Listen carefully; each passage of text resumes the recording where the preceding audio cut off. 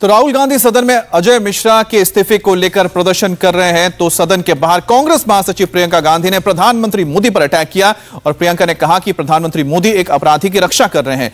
प्रियंका ने ट्वीट करके कहा कि अजय मिश्रा टेनी को बर्खास्त किया जाना चाहिए। आपको बताते हैं कि प्रियंका गांधी ने ट्वीट में क्या लिखा है। अजय मिश्रा टेनी को बर्खास्त करने से सरकार का इनकार करना उनकी नैतिक दिवालियापन का सबसे बड़ा संकेत है और प्रधानमंत्री नरेंद्र मोदी धर्मपरायणता के चश्मे और धार्मिक पोशाक पहनने से यह तथ्य नहीं बदलेगा कि आप एक अपराधी का रक्षा कर रहे हैं। और अजय मिश्रा टेनी को बर्खास्त कर कानून के तहत कार्रवाई की जाए। इंडिया टीवी हर वक्त, हर जगह। डाउनलोड करने के लिए सर्च करें India TV news, Google Play Store या एप स्टोर।